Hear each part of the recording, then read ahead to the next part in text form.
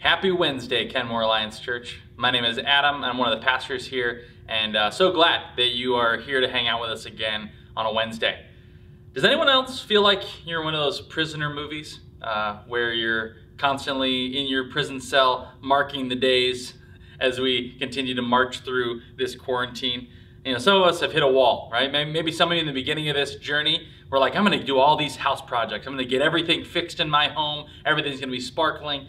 But now we've kind of hit that place where like, I don't know how to do any more projects. I'm kind of done uh, doing doing those things. It's a, it's a bizarre time uh, that we're in. But what I want to share with you today is from, from the Gospels, a story about Jesus in the temple that I think is a really great reminder for us as we think about our own souls, as many of us have been thinking about our homes uh, going forward. So in Mark 11, 15 to 19, it says this And they came to Jerusalem, and he entered the temple and began to drive out those who sold and those who bought in the temple. And he overturned the tables of the money changers and the seats of those who sold pigeons. And he would not allow anyone to carry anything through the temple. And he was teaching them and saying to them, Is it not written, My house shall be called a house of prayer for all nations, but you have made it a den of robbers? You know, I, I think this is a really, this is a really powerful, poignant moment in Jesus' ministry. This is a moment where we see Jesus get angry, right? He gets frustrated at the people in the temple, taking the temple and utilizing it for something it was not intended to be. People began using it as a business venture. You know, they use it as an opportunity to take advantage and make money. You know, and, and that is not what God intended his temple to be like. And fast forward now into the, the world that we're in, uh, a temple no longer is a building, it is a person, right? If we're followers of Jesus, we have become temples of the Holy Spirit. We become temples of God's presence. And, and if we're really honest, oftentimes we don't think about the fact that we are a temple, right? We, we think about the, the fact that, you know, we, we do what makes ourselves feel good, we breathe, we do those things, we, we go about our lives. But the reality is that our bodies, our beings were bought with a price. Jesus gave his life on the cross as we just celebrated, you know, a couple weeks ago. We had opportunity to come around and, and celebrate the, the resurrected King and Jesus. You know, but he had to go to a cross. He, he bought our freedom. He bought our ability to have life and have it to its fullest. And so in this story, we see Jesus getting fed up. And, and I don't want us, the people of Kenmore Alliance Church, and anyone else that's watching this, to get to a point where Jesus is fed up with our laziness, right?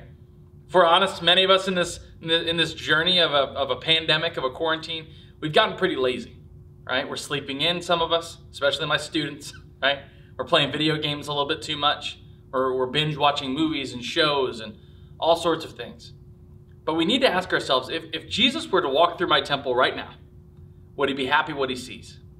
Would, would, he be, would he be grateful that we were inviting him back again? Or would it be a, a weird kind of one of those moments where you, when you were a kid and you had your, you know, your mom asked you to clean your room and you just chucked everything in the closet and just hoped uh, that, that he wouldn't check there? Well, that, that's the reality that for all of us as followers of Christ, we need to understand that God desires each of us to live lives that are pure, holy, and pleasing to him. We are his temples. We are his prayer furnaces. The things that he wants to do with us are so grand, and I know it feels so limiting right now. Our world is super bizarre.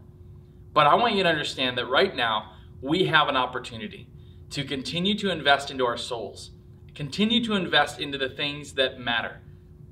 And I don't know about you, but I want God, when, when he visits me, when he, when he hangs out here, when I invite him into my heart and we, we have a journey together, I want him to be able to look in there and clean up what he wants. Because here's the deal if you're a follower of Jesus, your heart's under new management. We no longer have the same boss anymore. We're no longer a slave to sin. We are now a slave to a good master in Jesus Christ.